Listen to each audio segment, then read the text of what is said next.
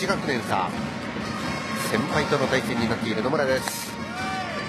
まあねそのバッうん？バットは回っていました。ワンアンドワン外は外れます。ツーボールワンストライク。